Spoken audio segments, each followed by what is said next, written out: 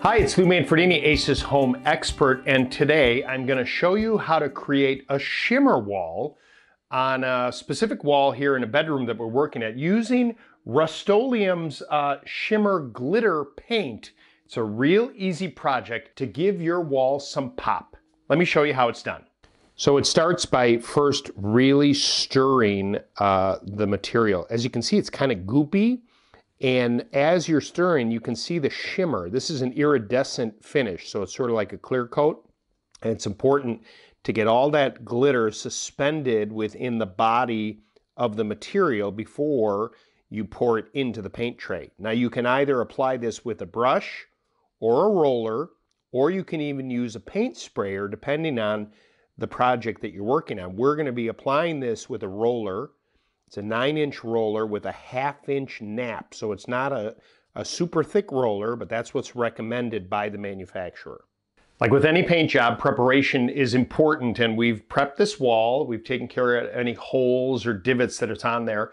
You'll see on the can, it'll talk to you about what you can apply it over. Typically walls need to be primed, but in this case, we've got a nice finish base here of a paint color and we're gonna go right over the top of that so it's ready to go. Now let's start applying it right now.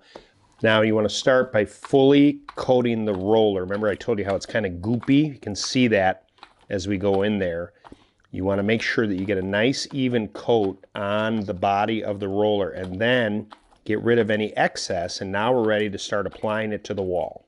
And what we're gonna do is we're gonna start by going vertically with the application and then once that dries, we'll come back and go horizontally and you want to start to put that on there with a nice even coat. Now because it's iridescent, you really have to pay attention to make sure there's no ropes. Roping is when you push the roller too much uh, and you apply too much pressure to it. You want to avoid that at all costs because that will change the look. And it's important too that you have good lighting so you can see what you're doing because the fact that it's iridescent, it's just kind of covering it. It's going to give you that, that hint of glitter right over the top. It's going to look great. So we're going to do a second coat using a second quart of the paint.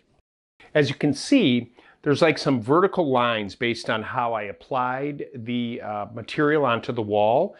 I'm going to come back after this dries with the second coat going horizontally to blend it all in. A lot of you, what you're doing is just taking glitter and adding it to paint. While you can do that, there's a lot more expertise involved to get these kind of results. With the paint that's designed to do that, that goopier, thicker material, it is what gives you these results. So by changing the direction of the roller, this is where you kind of get that nice consistent coverage. And it's a good idea to have a bright light shining on this because with this translucent color and the shimmer, you really kind of want to blend that in. So you want enough light so that you can see that there aren't any kind of pockets in the coverage. And it gives you that nice consistent look so that you get professional results. And then every now and then stand back and take a look at it so you can fill in those spots. This is going to look great. Adding glitter to a wall is sort of like doing an art project. It's a great way to get some pop and it's fun to do. Now, if you need more advice, you can certainly talk to the sales associate right at your local Ace Hardware store. And remember to subscribe to our YouTube channel. And if you'd like, you can visit us at acehardware.com. Remember, Ace is the helpful place.